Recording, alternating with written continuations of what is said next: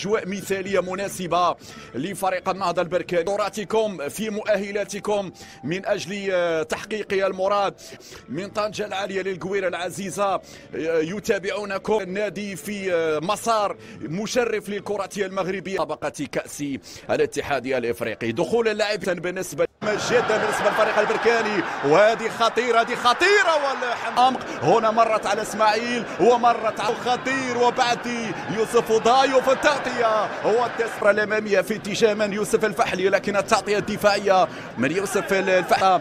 وبالتالي ضربة حرة لفائدة الفريق. على حساب فريق كونغولي منتخبات عديدة في إفريقيا. لكن بركان الأيسر مرر والمادي أوبيل سدد بيخوض مبارياته خارج أرضية الميدان والمساوي ما يبعد الكرة بالراس إلى الركنية. ضاعت هذه الكرة من المهدي اوبيلا رجعت مرة اسماعيل المقدم تلعب هذه الركنية. برافو بكر. فريق يصل لنهائي الكاف وفريق يصل إلى فريقان مغربيان واحد في الكاف وواحد في ال Champions League من الجهه اليمنى مراوغه من موسيلي يرفع موسيلي جدا شوف هنا شوف هنا الإعادة العرضية من موسيلي وشوف غير معقول. الأطول يا يوسف ويا ضايو مع ذلك تمشي الكرة من جديد. ال one-two هنا الحكم خلى الامتياز للاعبيه حاضرا ترفع ديال الكرة والرأسية ولكن هو مرة أخرى.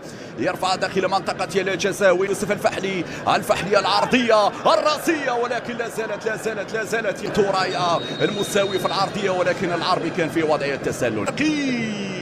رجعت مرة أخرى هنا التسرع نادي أوبيلا تسرع من هذه النقطة. بايراتس لارتش يستلم هذه الكرة تعطي واحد صفر أو اثنين واحد ليس إلا. لن تكون جدا نحو التتويج بينما الكرة خطيرة. حمزة الحمياني برافو. واعتقد أن الانطلاقة الفعلية للعابيه مرت هذه. أوه خطيرة. أوه دايو دايو دايو. لكن قبل ذلك حمزة الحمياني. الاستلام شادراك يحاول يمر. شادراك ولكن فيها ضربة مرمى. شادراك المهاجمين حذاري من سرعة المهاجمين. خطيرة. دايو برافو. أوه تدخل مثالي تدخل خيالي من طرف دايو. تدخل مثالي من طرف دايو.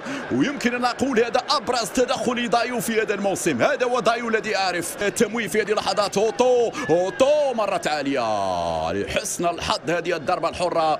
الكرة مرت على إتريا عالية ولكن الماضية تلعب هذه الضربة الحرة. مرفوعة داخل منطقة الجزاء. بالراس بالراس الابعاد إلى التماس. الكرة مقطوعة بعد ذلك لا زالت صعبة لا زالت صعبة. الحمياني برافو. الحمياني برافو. الحمياني أنت البطل حتى الآن. تصدي يمكن نقول بطولي بالنسبة لحمزة الحمياني.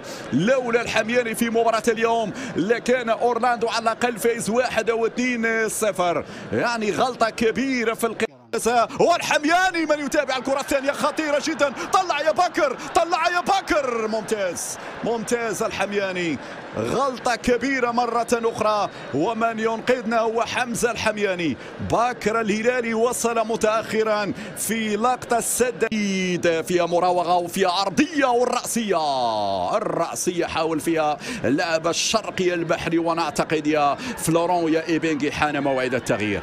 فلورون إيبنجي حان موعد كندوزو منك. السخونية الطرافيكية برنوسي الساحرة الساحرة. قلت لك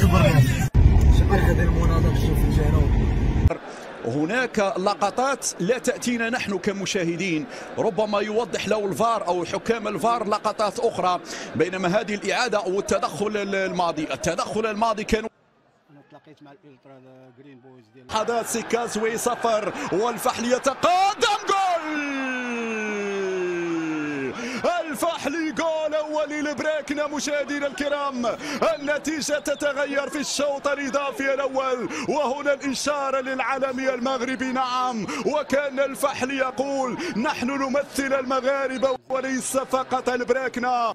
برافو يوسف الفحلي يهز الشباك في هذه اللحظات واحد صفر لكن المباراة لم تنتهي بعد. هذا ويوسف الحارس في جهة والكرة في الجهة المقابلة. البريكنا بعد طول طول انتظار وبعد طول معاناة يسجلون يهدفون في هذه الأثناء من ركلة الجزاء. ولكن دائما أقول بأن المباراة لم تنتهي بعد. سددش ما يسددش ما يسددش ما يسددش يا شباب ما يسددش. والحمياني غير معقول.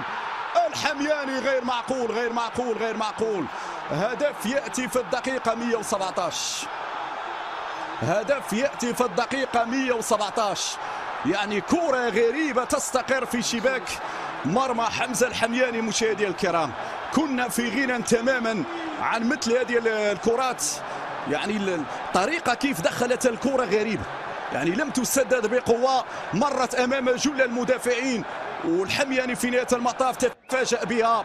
الكرة في نهاية الأمر تستقر في الشباك على بعد دقيقتين من نهاية الوقت الأصلي من الشوط الإضافي الثاني الإعادة مرة أخرى للكرة الماضية.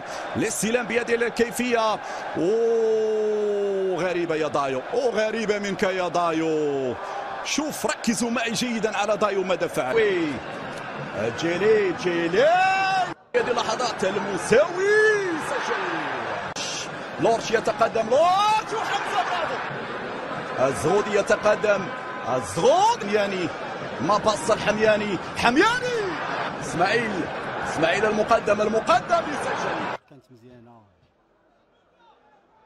فوري حمياني. كورتك كورتك كورتك الحمياني. ليسي كازوي البحراوي البحراوي. سميتنا الراجل